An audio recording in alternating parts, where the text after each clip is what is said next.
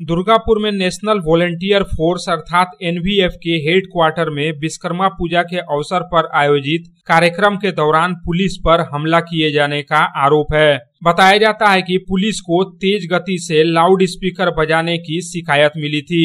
Police जब loud speaker बंद करवाने गई तो अचानक उस पर हमला किए जाने का आरोप है। इस हमले में दुर्गापुर के कोकोबेन थाने के एक एएसआई गंभीर रूप से घायल हो गए। उन्हें इलाज के लिए दुर्गापुर के एक गैर सरकारी अस्पताल में भर्ती कराया गया।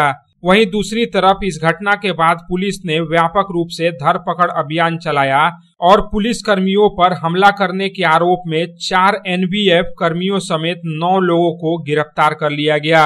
गिरफ़्तार किए गए इन सभी आरोपियों को बृहस्पतिवार को दुर्गापुर महकमा अदालत में पेश किया गया।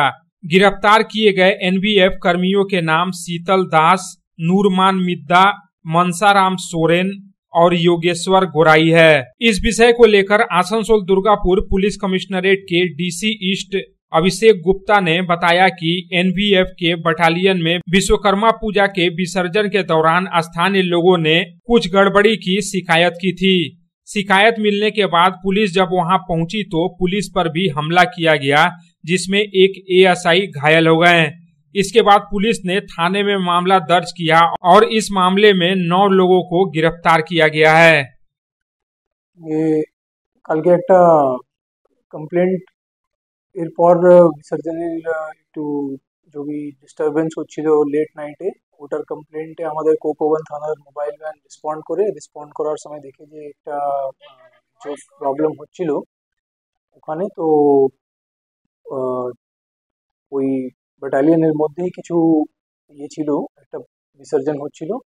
ওই বিসর্জনেই আমরা রেসপন্ড করতে যখন গেছে ওরা, তো একটু ডিস্টারবেন্স হয়েছে। ওখানে লোকাল লোকজনও ছিল লোকাল লোকজন কল করেছিল অ্যাকচুয়ালি থানাতে। তো তখন একটু আমাদের এএসআইকে অ্যাটাক করা হয়, সঞ্জয় ঘোষকে অ্যাটাক করা হয়। তো তখন তারপরে আমরা অ্যাকশন নিই। আর ওখান থেকে একটা স্পেসিফিক কেস করে কোকোবান থানায় আমরা নজনকে এখন অবধি অ্যারেস্ট করেছি আর কোর্টে ফরওয়ার্ড করেছি একজন আমাদের এএসআই আহত আছে সঞ্জয় ঘোষ আছেন এখন স্টেবল আছেন ঠিক আছেন কিন্তু এডমিটেড আছেন दुर्गापुर से साधन रूज के साथ राम बाबू यादव की report Public Times I am Dr. Radha Krishna. I'm a gastroenterologist and a liver specialist. So I do visit Durgapur once a month. I stay here for two days. So we do different types of procedures pertaining to gastroenterology and liver.